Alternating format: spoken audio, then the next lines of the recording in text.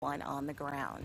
We are on Storm Watch tonight, and our Dave Aguilera is tracking the latest round of snow headed our way. Dave. Mm -hmm. uh, interesting uh, setup coming our way over the next couple of days here. Several systems coming together to bring the change. First one was a cold front that came through today and uh, chilled us down into the 40s. Behind it, we're getting some wind tonight 45 mile per hour in Berthoud Pass, 32 in Broomfield, a gust of 30 out at DIA right now. So a little blustery out there tonight. Here's the satellite and radar. We put it into motion.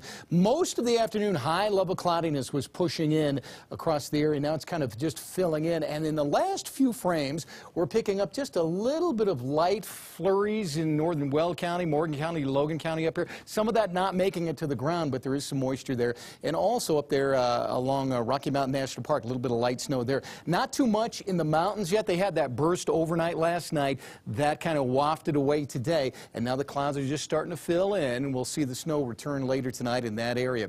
Big moisture coming right out of Las Vegas here as we look at this. A little low pressure area sending that moisture in. That'll be the first batch of moisture that comes in for our big weather change. But the wider look, take a look at this. We've got our front coming through today. There's another one behind it right now that'll come through and drop our temperatures even more tomorrow. Then that little low over Las Vegas is right here, and a deep trough off the coast here, right off the coast, starting to move into California here. So everything coming together. Let's take it full, and we'll show you how everything kind of just gets mixed up in the weather salad here. Now, the cold front that's going through right now, that's creating the wind. That'll drop our temperatures tonight and tomorrow. That little low will uh, shoot into southern Colorado tomorrow morning, and by afternoon, that'll make it into Kansas.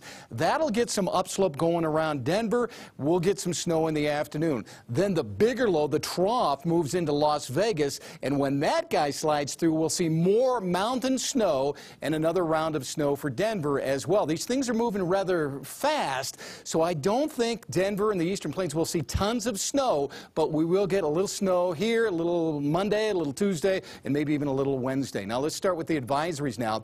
In the purple shades, 6 to 12 inches, northern central mountains, 1 to 3 possible already out there in the extreme eastern plains. And then down there in the southern mountains, some areas could see 1 to 2 feet of snow down there. Here's what I'm expecting in Denver now. For uh, Monday during the day, maybe a half inch to an inch for us. A little more Monday into Tuesday, maybe another half inch to an inch. That might wind up with about one to three in Denver, maybe two to four up there, Longmont and Fort Collins. By the time everything is said and done, it's going to be a little bit here, a little bit there, and then adding up to those totals. High today, it was cooler today. We only made it to 46 degrees for the high this afternoon. Big change uh, from what we had yesterday at 61.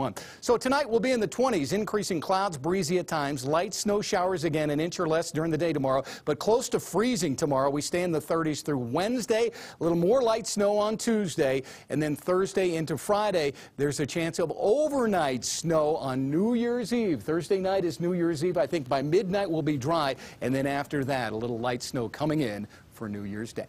Thank you so much, Dave. Mm -hmm. We'll be right back.